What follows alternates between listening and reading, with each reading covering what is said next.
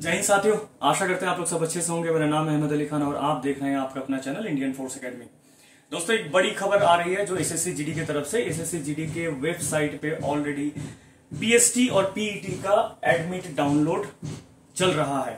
तो जिन बच्चों ने ऑलरेडी पिछली बार जो रिज़ल्ट आया था, उस रिज़ल्ट में क्वालिफाई किए हैं तो वो जाकर के जल्द से जल्द अपना एडमिट कार्ड डाउनलोड करें।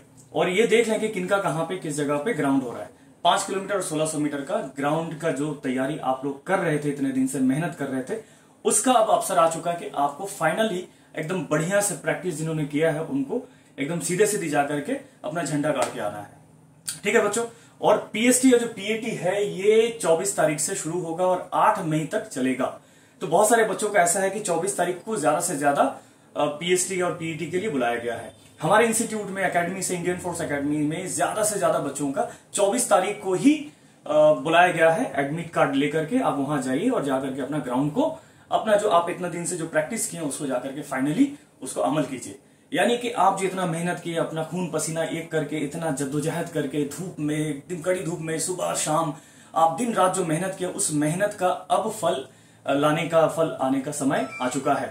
तो ज़्यादा से ज़्यादा बच्चे पीएसटी और पीईटी में ज़रूर जाएँ। अच्छा ऐसा भी हो सकता है, बहुत सारे बच्चों को ऐसा लगता होगा कि, सर, क्या क्यों जाएँ? हमारा नंबर, हमारा स्कोर कम है। जाएँगे हो सकता है कि हमारा नहीं हो, या हो जाए, हो जाने के बाद फाइनल मेरिट में जाकर के कट जाए। ऐसा हो सकता है, ऐसा मन में चल रहा हो। लेकिन मेरे ख्याल से बच्चा, ज़रूर आपको पीटी में जाना चाहिए, दौड़ के लिए जाना चाहिए, क्योंकि आप पहले आपका क्या होने वाला है आगे चलकर के इस चीज़ का दिमाग में मत लाइए। हो सकता है कि आप जो तैयारी के जिस मेहनत से आगे बढ़ रहे हैं, हो सकता है कि आपका फाइनल मेरिट में भी आ जाए।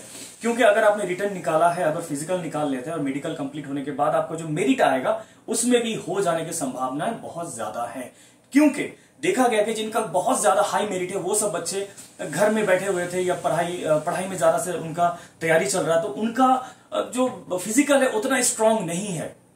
तो देखा गया कि बाद में जाकर के वो सब बच्चे कि ठीक है, अभी ग्राउंड पे नहीं उतरेंगे, बाद में अभी भी समय है अपने पास, देखा जाए आज नहीं, कल कल नहीं, परसों ऐसे करते करते बहुत सारे ऐसे बच्चे जिन्होंने ग्राउंड की तैयारी उतना खास नहीं कर पाया। तो जिनका तैयारी बहुत बढ़िया है, उनके पास एकदम सुनहरा मौका है कि जाकर के ग्राउंड में अपना झंडा गाड़ के आओ बेटा, और अपना जो एक सपना है वर्दी पाने का, उसको हासिल कर लो।